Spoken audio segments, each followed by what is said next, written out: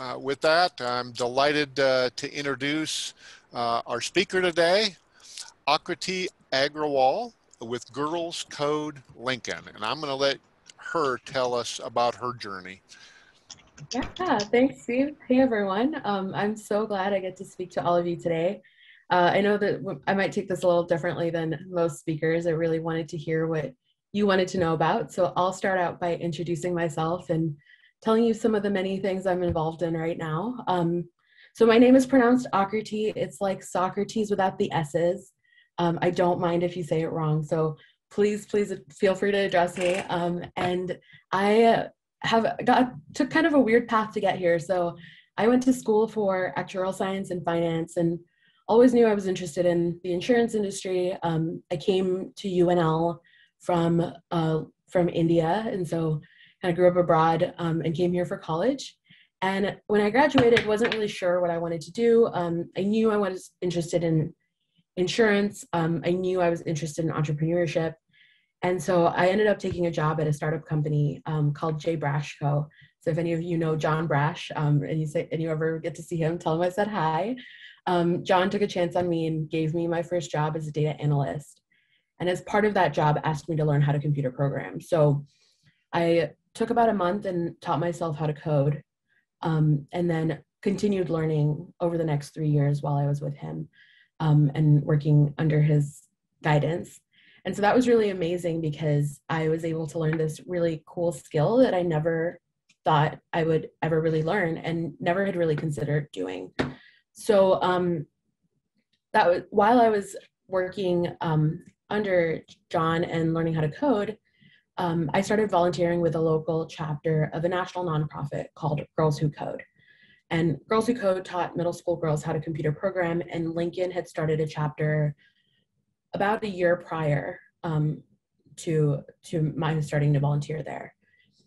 And as I started volunteering, a lot of the people that were running it um, started to have children and started to get really busy and showed interest in stepping down.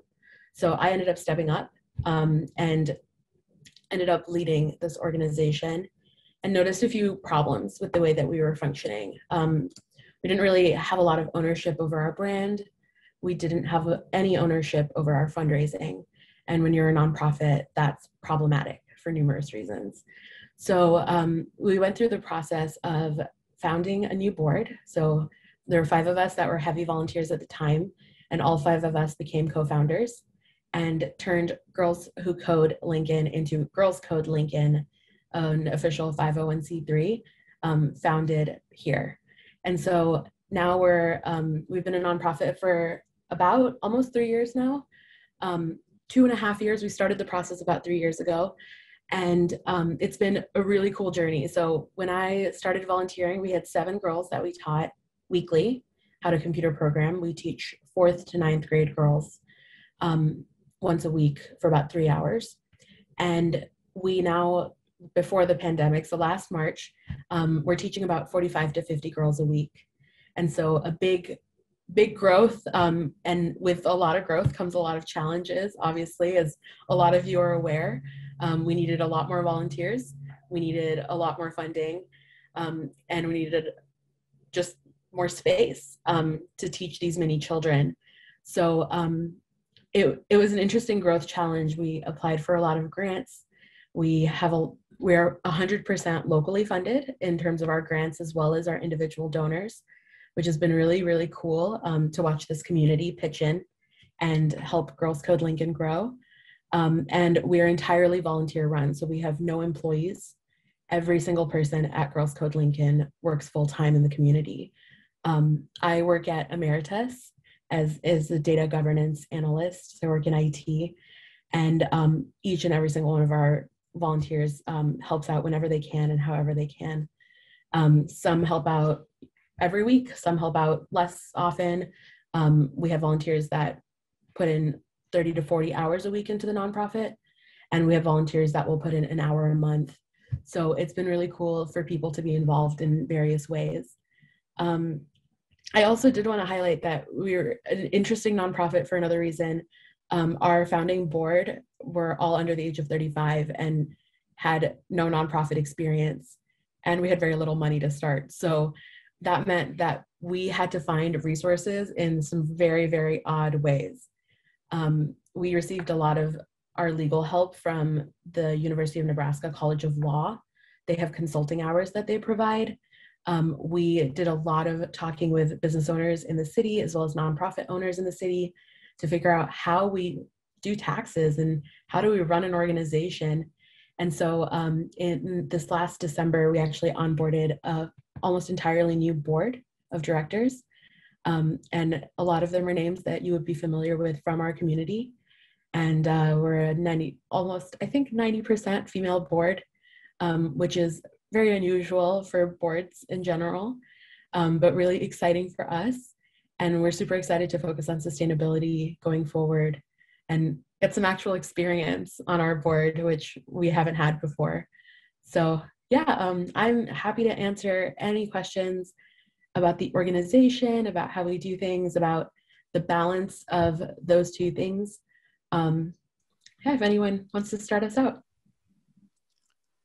Yes, I got a question for you. And this is just so that I can feel impossibly old and not very smart. But uh, uh of the young women that you're working with, give me an example of some of the things they're capable of already as far as coding.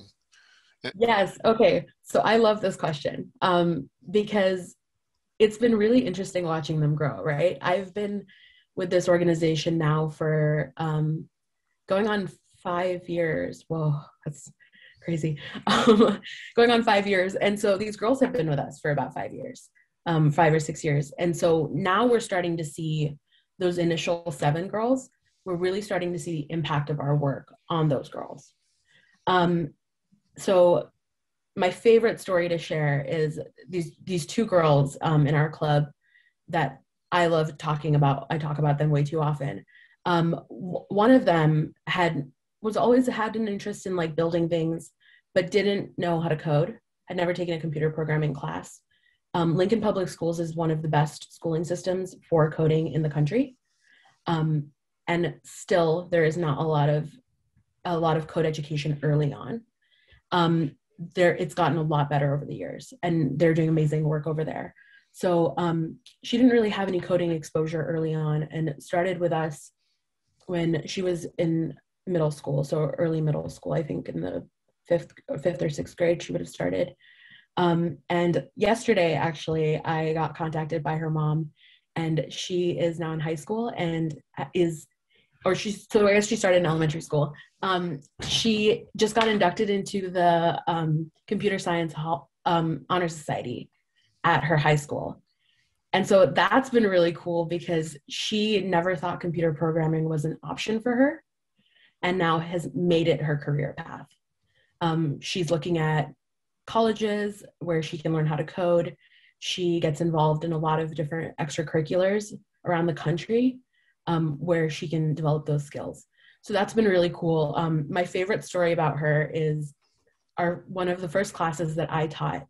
We were teaching them how to web development. Uh, we were teaching them how to make websites, so um, HTML, JavaScript, and CSS, and we were showing them how they work together.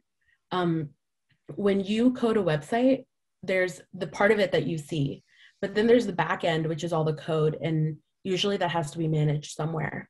Well, we decided um, early on to make things easier for our kids and to make it more fun and hands on for them. We wouldn't show them that code management stuff at the beginning. It just was easier to not worry about it. We wanted them to see that code can be fun um, and didn't want them to get bogged down in the details. So we were using this website called Glitch that they can visualize their code. Um, so half of the screen is the code that they type, and the other half automatically refreshes to show them their website that they're creating. And we had a lot of conversations on the back end, you know, how practical is this? Can they really use this to make a website? And we said, you know, they'll level up and we'll teach them code management after, but we have to get them interested first. Um, well, this girl, her name's Darian. Darian took these skills that she had learned and went back to her family and i guess her family over dinner sometime was talking about um, creating a website for a vacation home, a vacation home that they own um, for renting it out and she was able to convince her parents to let her design it um, and she was able to convince her parents to pay her for it she knew that was a marketable skill And Darian in middle school knew that this is a skill I can charge for, and here's what I would like to charge for it. And so she knew her worth. She knew how to negotiate skills that we didn't teach her. Um, we taught her how to be confident about the work she was doing. And um, she made them a website. And then they asked for a Google Maps add in to the website. And she knew that that was another thing that she could charge consulting hours for. So she did. Um, and we do an end of the semester party um, every at the end of every semester we do like an ice cream party so that the girls can show off their work to their families and um, interact with their friends at the party. And her dad comes very proudly to me showing me this website that darian created um, through glitch. So he had a, really long url that she used a tiny url thing so that he could get to it easier. And um, she earned a nice amount of money to do that. And so yeah it's it's been really cool to see that the kids have so much they they're they're so smart and they absorb things like a sponge. And i don't think that when i was that young i would have done that. And i don't think that when i was a kid i would have chosen to be at a coding club on a sat on a sunday. But all of our kids love being there. They love being in the space. They love interacting with each other. Um, one of our girls said that she likes coding club more than chess club which for her was a really high state i don't know chess so um, she absolutely loves chess and she loves coding more. And it's been really cool to give them this opportunity and to show them that this is an area that's made for them as much as it's made for the boys. Because i didn't think that when i was a kid. And so it's been cool to fill that gap. Um, our most advanced girls when we left off in march were doing machine learning in a language called Python, um, where they could point a camera at the space and it would say things like, This is a restaurant. Um, and it blew my mind because I, I'm a computer programmer and I don't know how to do that. And so they they get very advanced very quickly. Um, the advanced girls are now beyond what I know. So I don't teach them anymore. but yeah, there is a lot of potential there, and they do pick things up a lot faster than I think I did. Excellent. Other questions? So, Aakriti, since you've they're advancing beyond you, have you or are you in the process of setting up the next level for them to be able to pass them off to? Yeah, so we um, we're constantly recruiting for volunteers, and we write all of our own curriculum in house. So um, our volunteers work with the kids and figure out what they want to learn. Um, and the girls actually choose their own curriculum every semester. So um, we'll sit down with them and we have we split them up into three groups at the moment um, with our current set where there's a beginner group so they do one semester of beginner and that's where they learn the basics of computer programming um, and they learn about why tech is for them why they're welcome here um, those types of things, the history of women in STEM. Um, then they go into web development. And during web development, the first day, we'll ask them what they want to learn. Um, and then we as volunteers will go back and figure out how to get how to do that. So um, one semester I was teaching, one of the girls asked to learn how to make BuzzFeed style quizzes.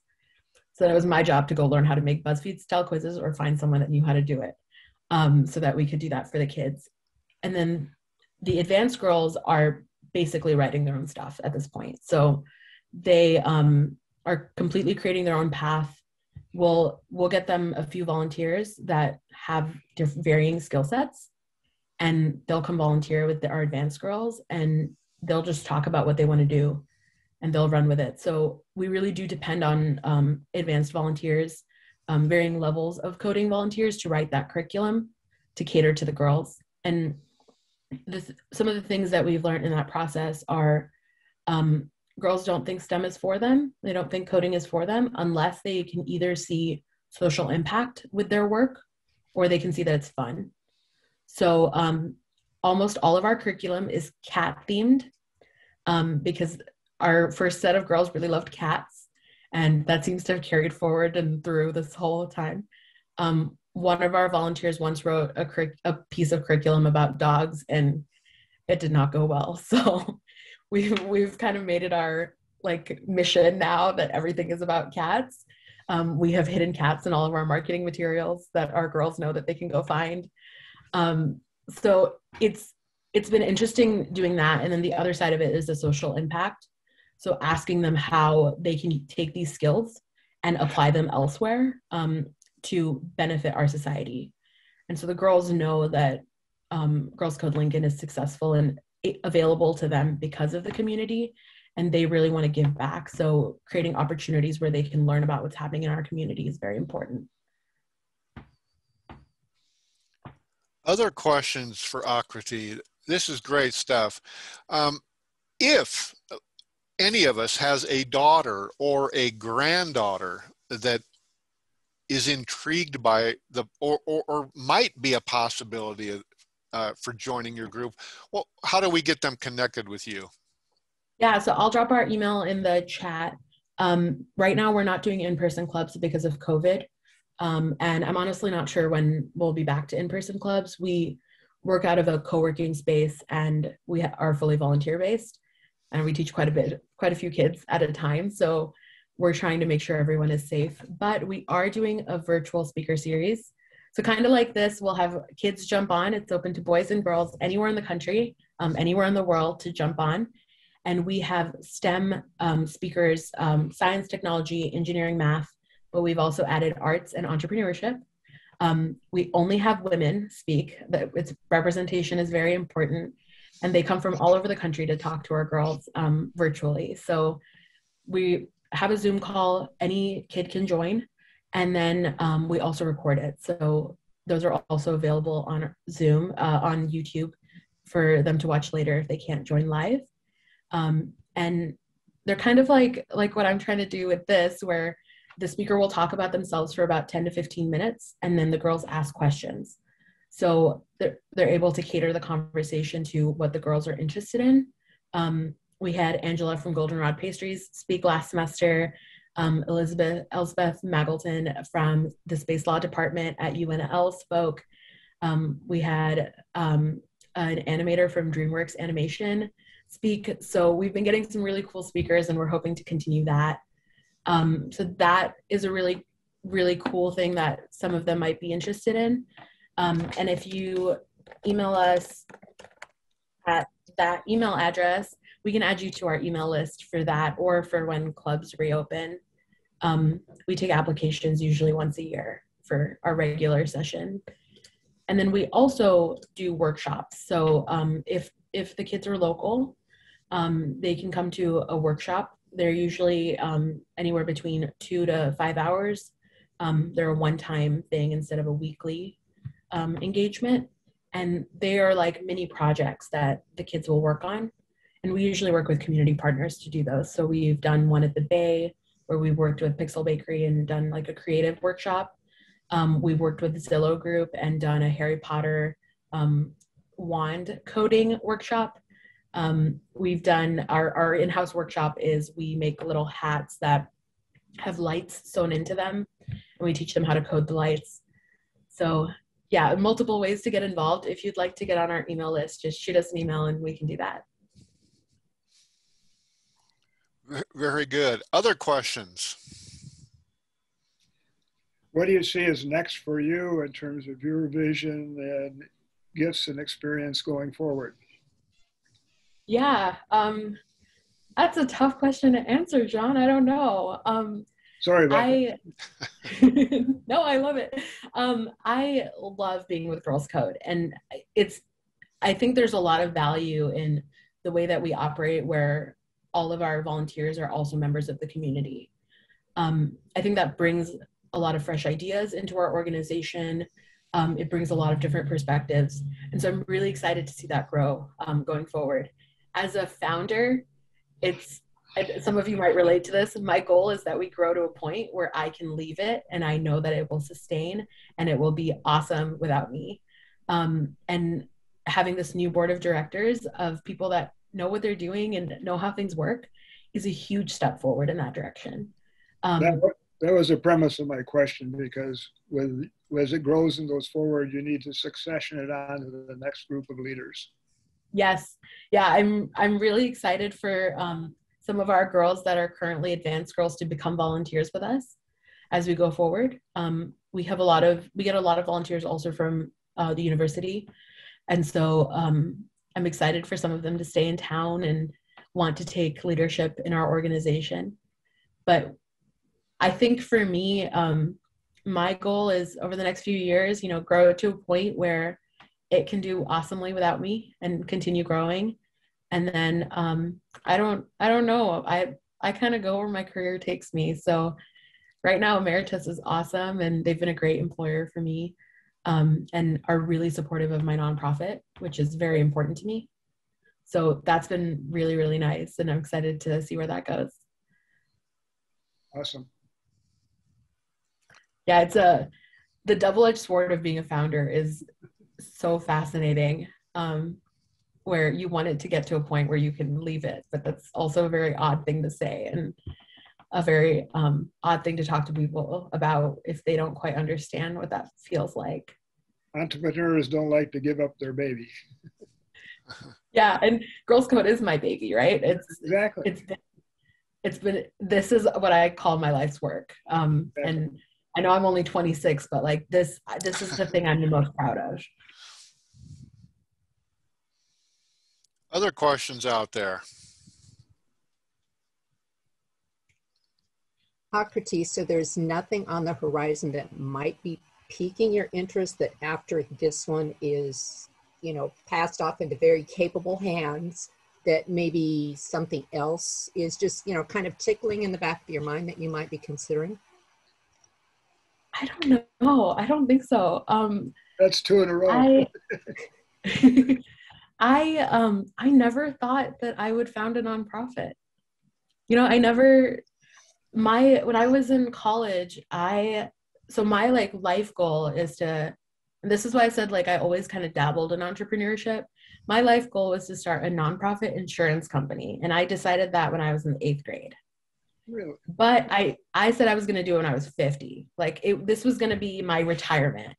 Um, I was going to have a full career in insurance, and then I would go and do this thing on the side. And that that was that was my goal. And so it's I never planned to take over a nonprofit. I never planned to found one. I don't really know how this happened.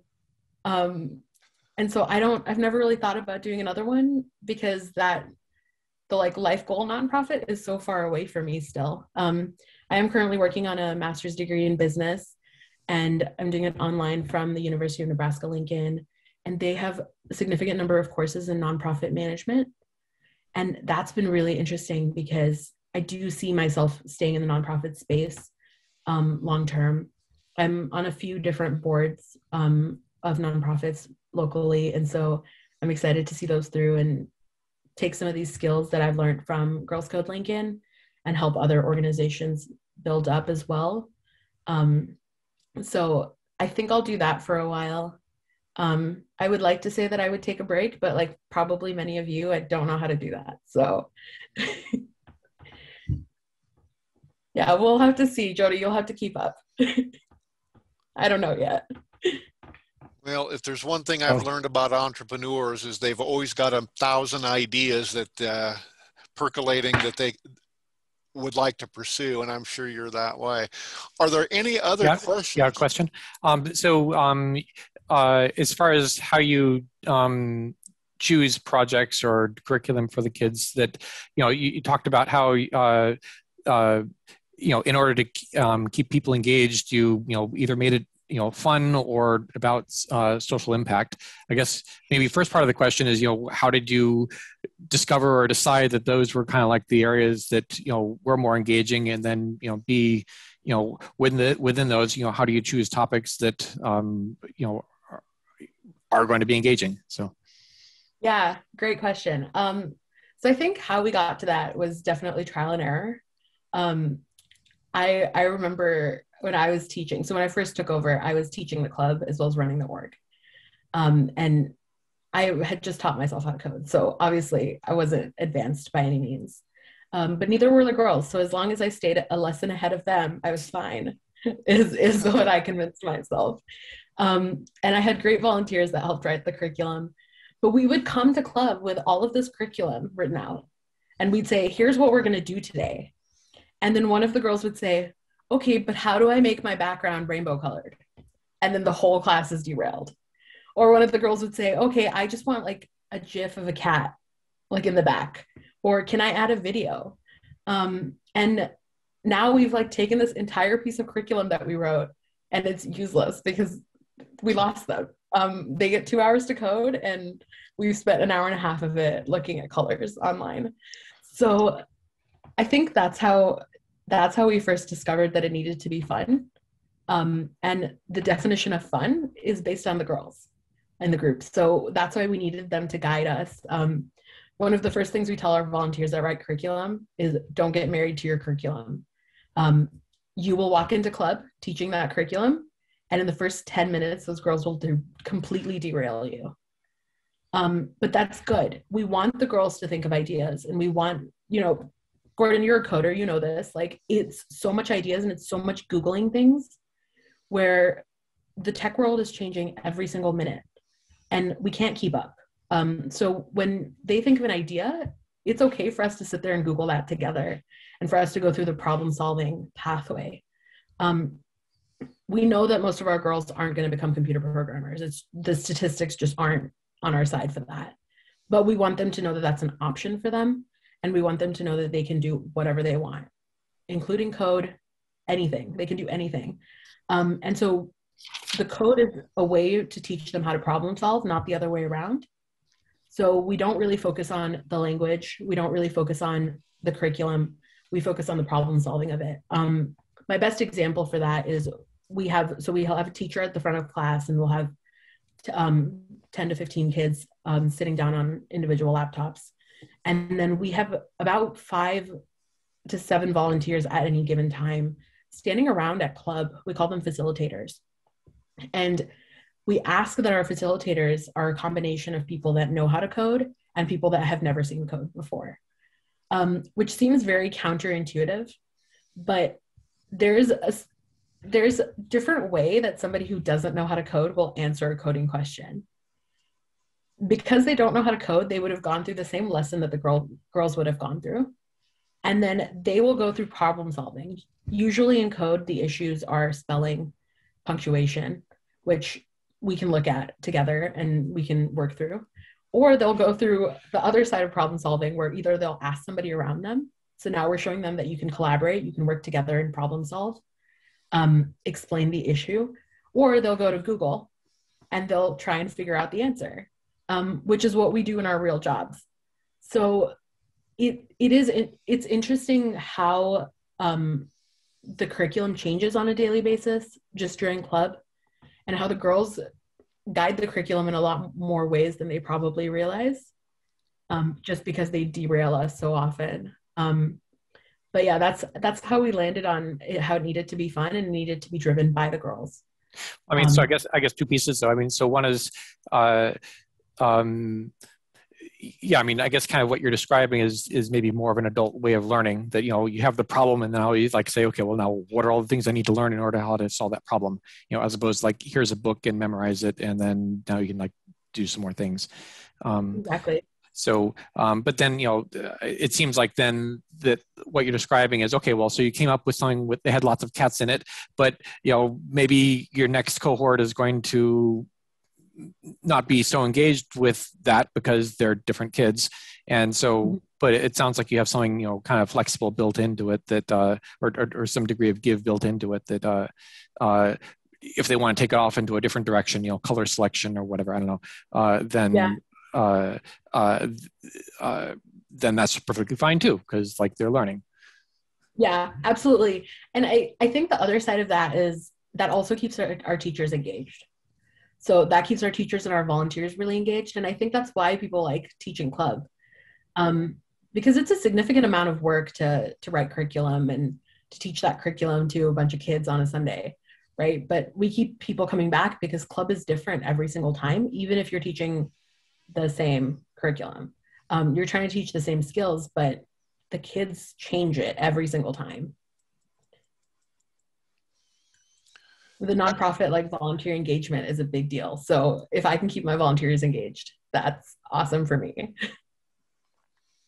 So Aakriti, are you planning on expanding this program to other cities? Because this is such an amazing, brilliant program that it needs to be expanded, whether under you, which might be your next project, but I mean, to engage girls at that, to make their brains start working for themselves and whatnot. This is huge. Thanks, Jody. Yeah, I think we're we, we're onto something cool here, but I will say a lot of other cities have similar things. They're run very differently. Um, there, so there is Girls Who Code, which is a national organization. There's Girls Who Code chapters all over the country and in many parts of the world. Um, but Girls Who Code runs more on the what I call the Girl Scout model, where the teacher doesn't necessarily know the content. So somebody who doesn't know how to code can go in with this curriculum that Girls Who Code has developed and teach it. Um, we used to do that too, right? That's how we started out. But we found a lot of our volunteers had that skill set and wanted the fun of like changing the curriculum. They wanted to write their own curriculum. They didn't want to work with this thing they were given, um, which is how we kind of landed on this. Um, we have been asked before if we will expand. And this is something that comes up pretty often. Um, there, there have been Girls Who Code chapters around the country that have thought about becoming their own um, nonprofit. And I'm in a, quite a few nonprofit groups or um, like Facebook groups and stuff like that in both the nonprofit and the for-profit space. And so we provide, like, we try and help out whenever we can. Um, we share our curriculum with anyone who wants it we are happy to help bridge that however we can. Um, we're actually helping out a local nonprofit right now in Lincoln that's trying to form into a nonprofit. They're in the art space and they're having, um, they wanted some advice on how we did it. So we are all like, all hands on deck helping out. Um, so we love doing that kinds of stuff. But I think the reason we work is because of Lincoln. And I, I don't know if I could like not being a member of a different community, I don't think I could take that and replicate it even somewhere like Omaha. Um, and the reason I say that is because we partner with a lot of different local Lincoln organizations. We um, have all of our donors are local, all of our grants are local, all of our volunteers are local. Um, there has to be some sense of like the network in the community that is willing to back you um, the day that Lincoln decides Girls Code Lincoln is no longer needed, Girls Code Lincoln will die. Um, and so it is the community that keeps it alive um, and keeps it thriving. And so I don't know if you could replicate this model somewhere else unless you had somebody else or another set of like five co-founders, right? That are members of the community and are involved in the community and have those connections. All right. Well, thank you, everybody. Aakriti, thank you so much for joining us today, and thank you for everything you're doing in our community uh, to further the cause. Uh, please, everyone, uh, reach out to your daughters, your uh, nieces, your granddaughters, uh, and if you think they would have any interest in this group, have them watch the video uh, and then they can make their decision or have them visit their website. They've got a really cool website that I imagine probably one of their students did, and uh, support them. And I'm sure uh, if people feel so moved, how can we, uh, how do we get a hold of you to donate? Yes, so there is a donation button on our website. Um, we have Give to Lincoln Day coming up. So if you do donate during Give to Lincoln Day, please consider donating to us. Um, but any other time of the year, um, visit us at girlscodelincoln.com. We also have a Facebook page if you'd like to keep up that way. Um, with all that we've been doing, we post more on there. We will be posting about all of our speaker series. And I that um, YouTube that Zoom speaker series that we're doing right now during COVID, it's called Empower Her. So like empower, but H E R at the end. The links for that are on our YouTube page, or you can email me and I can send them to you. Um, but we also encourage you to get boys to come to that. Um, it's important for boys to hear how women are making a difference in STEM and for them, for us to normalize women being in these fields. So yes, we're, well, anybody is welcome to come to that. Um, and that way you can hear more about what we're doing as well. But I really appreciate all of you taking the time out of your day to hear from me. Well, thank you so much. And again, thank you everyone for joining us. Uh, we appreciate your presence. Uh, and again, I, I hope that you'll join us next week for Janine Bryant with Changing Spaces. She'll talk about her new book and also about her dynamic growing Lincoln business. So join us next week and uh, everybody have a great weekend. Thank you for being here.